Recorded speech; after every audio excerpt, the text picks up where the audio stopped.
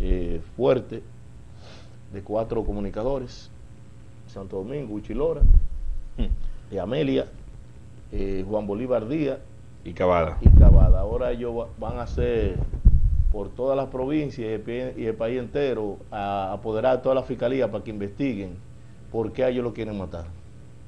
Como que está... Sí, que lo quieren matar. Úseme la palabra, como que está como medio pendejo sí, eso, ¿eh? Sí, para que lo sepas. sí. Como que estamos en los tiempos de Trujillo, de Sí. que vamos a matar periodistas, los tiempos de Balaguer. Ya eso pasó. Vamos a matar pasó, periodistas. Eso pasó. Está como... Tú sabes qué es lo que están buscando con eso. Tú sabes qué es lo que se busca en este país. En este país lo que se está buscando es lo que pasa como un periodista de Moca, un médico de Moca, que dijo y lo, se lo subieron a las redes sociales. Los antipatriotas, y dijo, y mencionó el nombre de- del grupo de ellos, y dijo, ese tipo lo que hay que hacer es matarlo.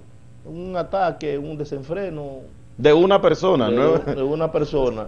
Que no la verdad que eso que, se va a materializar nada de eso sí. Eh, lo que pasa es el susto el miedo que ellos tienen porque saben ellos la causa que están defendiendo.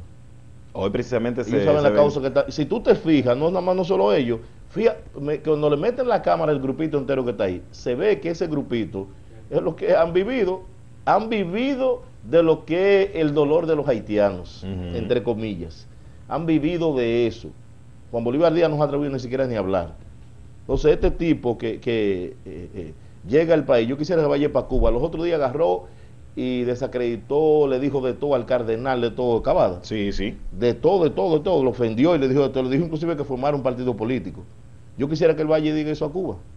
No. Entonces, Salió corriendo de Cuba por eso. Sí, entonces, eh, ellos saben el lío que se ha metido, porque yo lo he dicho también. Yo he dicho, a través de este programa y el programa de radio, he dicho que aquellos que han prohijado y están eh, eh, cimentando y abonando la idea de que esto se unifique, esta isla, son ellos mismos, son los primeros que van a salir eh, huyendo. Y vuelvo y repito, va a llegar un momento que ni las autoridades policiales ni militares en este país van a poder van a poder con lo, con lo que se está levantando a nivel nacional, porque lo que se está buscando de una parte u otra, tú no estás viendo que, que cuando queman una bandera dominicana lo que aparecen son 10 o 15 haitianos. O sea, ¿y qué hacen ellos? Que inmediatamente lo suben al internet, porque andan con celulares, lo suben al internet.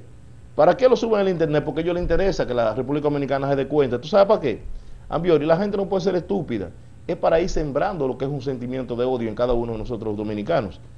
O sea, como allá está la minustad eh, haitiana, formar entonces aquí lo que es la minustad eh, dominicana o la minustad quisqueya, formarla por aquí y buscar una forma de que haya una intervención, porque a los morenos de aquel lado, más los morenos de aquí que, que no son tan morenos, se están matando uno con otro y no son capaces de convivir. Entonces ellos intervenir. Exacto. O sea, es buscando un asunto de una, de una, de una confrontación para justificar lo que es una intervención.